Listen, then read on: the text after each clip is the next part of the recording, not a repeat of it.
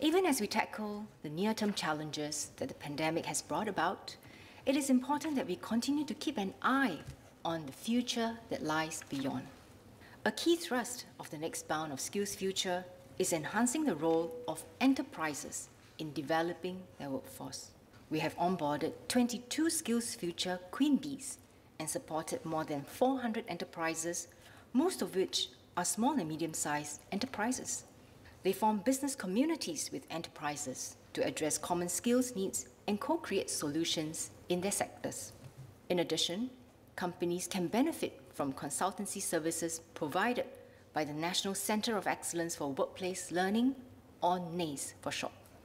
NACE was established in 2018 to strengthen the capabilities of companies to deliver training at the workplace.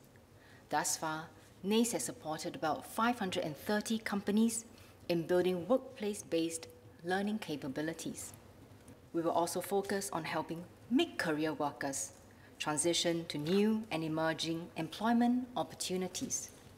We have been ramping up our provision of training programs and strengthening the partnership between SSG and WSG to improve employment outcomes of train and place programs.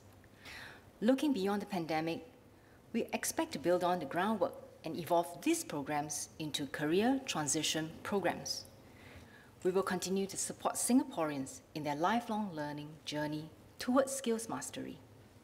Through SkillsFuture, we will enable Singaporeans to strive for their goals and emerge stronger together.